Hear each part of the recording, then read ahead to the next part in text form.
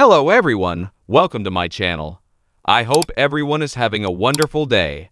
Before starting the video, please go ahead and hit the subscribe button and give this video a like up you can guess what Gloria Monty's New Year's resolution was in 1978 to keep ABC from swinging the axe.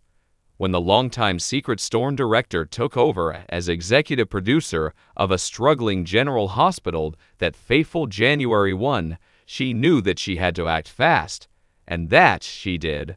According to Christopher Schemering's, the soap opera encyclopedia, Monty immediately chucked a week's worth of already taped episodes, then set about improving. Well, pretty much everything about the show, from its lighting to its pacing. And with the late great Douglas Marland as head writer, she managed to get General Hospital off the critical list. General Hospital's greatest characters ranked PHOTOs. It wasn't easy though, and neither, legend has it, was Monty. She was said to demand the absolute best from her company, and Dan well got it too.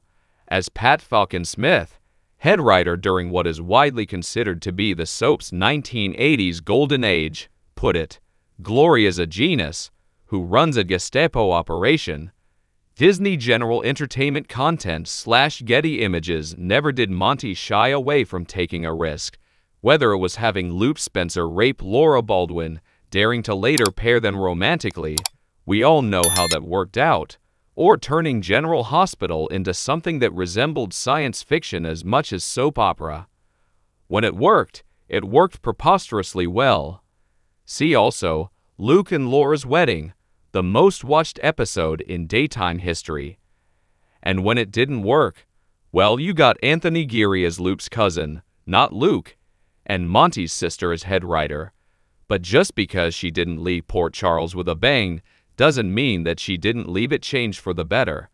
And on the anniversary of her passing on March 30, 2006, it bears mentioning and repeating as necessary that to this day her fingerprints are all over General Hospital, in every energetic scene we watch, every plot twist at which we gasped. Same goes at all the soaps. As General Hospital rose in popularity, other shows took cues from what Monty was doing so successfully and launched their own revolutions, the results of which continued the color and shaped the soaps we love.